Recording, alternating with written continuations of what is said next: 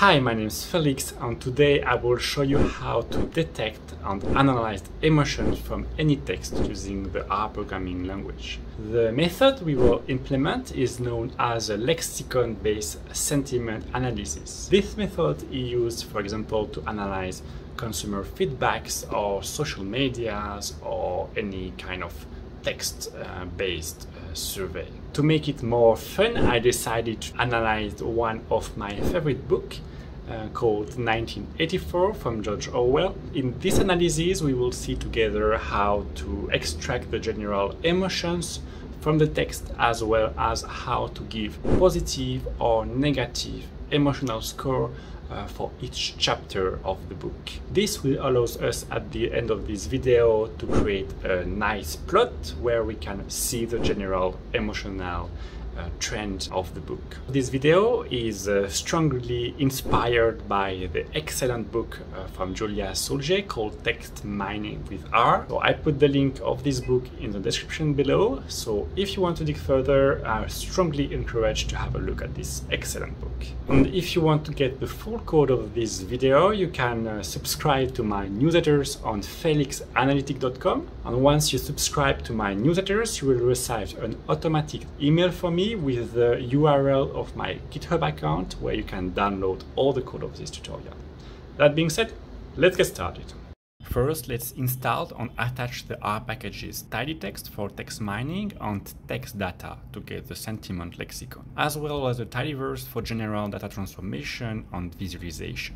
The full text of the novel 1984 from George Orwell is accessible on the Gutenberg Australia website at the following URL. Using the function readlines from the readr R package that you will have loaded when you load the tidyverse, you can easily import the text into R. We can use the arguments of the function readlines uh, to skip the empty rows, to remove the metadata of the book by starting at line 38, and remove the appending of the book starting at line 8500. By calling head on the text row object, you can uh, see the first sentences of the book in your R console. As we plan to give an emotion or sentiment score by chapter, we will also add a new chapter variable here uh, by uh, detecting the chapter numbers in the text of the text row. And then we will clean and remove uh, these lines. We will create a new variable called a line to know in which lines are the text. We will also create an index for each 50 lines of the book so we can make a more detailed analysis of the emotions within each chapter we can easily load the three main sentiment lexicon to analyze the emotions of the novel. The AFINN dictionary gives a gradual score between a minus 5 negative and a plus 5 positive score for a given word. The Bing lexicon contains categories in a binary way, so words that are classified either as positive or negative. And finally, the NRC lexicon classifies the words into categories of different emotions, such as joy, sadness, anger, etc., as well as positive and negative words. Now, I know what you are probably thinking. Using these sentiment dictionaries to infer the emotion of a text is, at the very best, a very dangerous simplification.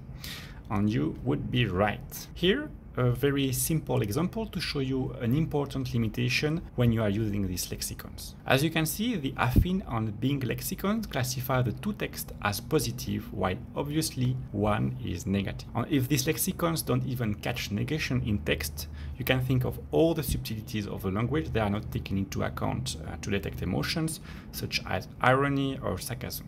And if you have read the novel, you know that the mention of the Ministry of Love, for example, is actually not a positive thing. That being said, we will see that using the sentiment lexicon will allow us to have a quite correct general overview of the main emotions of the novel and even give us a surprisingly good visualization of the general emotional trajectory of this book. Now we will tokenize our data frame and join it with the lexicons. The tokenization process refers to the fact of having a single words for each row of the data frame. The data transformation is done very easily using the unnest function from the tidytext package. Using the inner join function allows us to bind the words of the text with the lexicon as well as keeping at the same time only the words of the dictionary.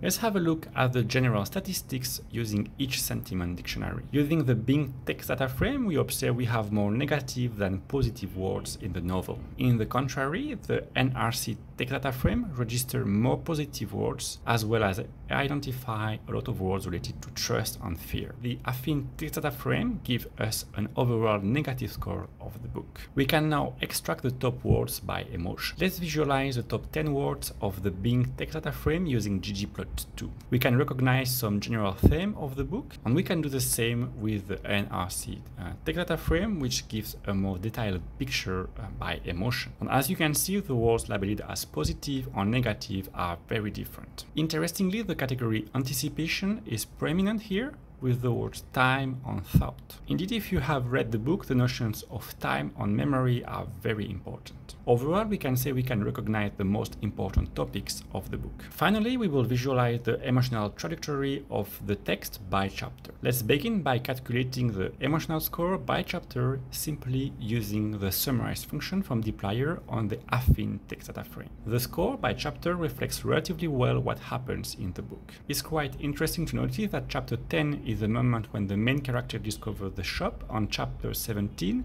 is the moment uh, of the what we can say the big revelation of the book. We can now make an even thinner analysis by 50 paragraphs using the index uh, column we previously created. We can see again the same general trend, but with more variety in the emotional scores. As we can observe, the emotional tenor of each 50 chapters are rarely neutral, sometimes positive, but generally on increasingly negative. Given the important limitation of our methodology, we can see that this visualization reflects again quite surprisingly well the general tone of the book. Well, I hope you find this video useful. If you did, give me a like or a comment, it's very appreciated. If you want to get the code, be sure to join my newsletters on felixanalytix.com and I see you in another video. Take care, bye bye.